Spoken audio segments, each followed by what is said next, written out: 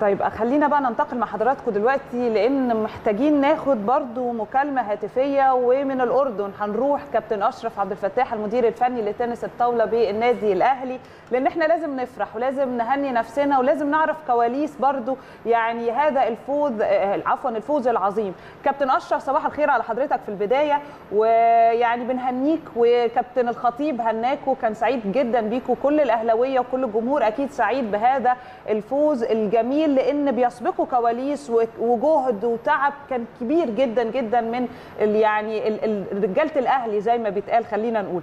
فكابتن أشرف خلينا نسمع من حضرتك ونعرف منك برضو هذه التفاصيل. اتفضل يا فندم. طبعا إحنا بنشكر الخطيب على تهنئه الفريق وفريق السيدات وثاني يوم فريق الرجال. طبعا فوز البطولة ديت كان جه بعد مجهود واستعداد كبير.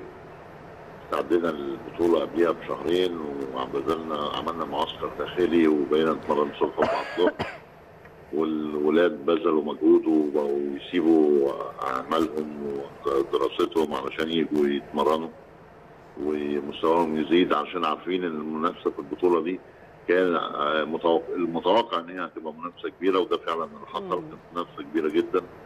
كل الفرق جابت لاعبين محترفين أجانب ترتيبهم من العشرين على العالم وفيما فوق. ومفيش فرقة جت في البطولة ما كانش معاها محترف. الحمد لله ربنا أكرمنا. تقريبا المرة دي 19 الفوز بالبطولة العربية المستوى العام. ولاد وبنات. بالظبط. كان حاجة يعني مشرفة جدا بصراحة. يعني لو حضرتك شفت التعليقات على ال social media وعلى تويتر وعلى صفحة قناة الأهلي وعلى النادي يعني الناس فعلا مبسوطة جدا وشعرين بفخر كبير. يعني إحنا بطولتين ورا بعض كده عظيم جدا أو عظيمين جدا. لكن ده خليني أروح لكابتن محمود الخطيب واللي قاله هذا الفوز هيخلينا أو هيضع على اللعيبة يعني عبء كمان كبير جدا علشان يفضلوا بنفس المستوى في المستقبل ويحققوا مزيد من البطولات فخليني أعرف من حضرتك برضو ده. طبعا إحنا يعني عشان يعني بنشتغل في النادي الأهلي واللعيبة لعيبة في النادي الأهلي عليهم ضغط آه على طول. يعني صحيح. إحنا بنطلع من بطولة بنجهز لبطولة ثانية لأن هو معروف النادي الأهلي المركز الأول المركز الثاني بالنسبة لنا بيبقى كأننا الاخير بالظبط. صحيح. فكل هدفنا دايما في كل بطولة بنخشها إن إحنا نطلع المركز الأول نطلع الأول.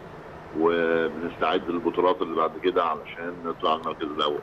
فطبعا ده مجهود كبير بيتبذل في التمرينات وفي الاستعدادات وبرضه برضه طبعا إحنا بنشكر مجلس الإدارة وبنشكر كابتن رؤوف عبد القادر إن هم بيوفروا لنا كل السبل إن إحنا نقدر نحقق الموضوع ده. يعني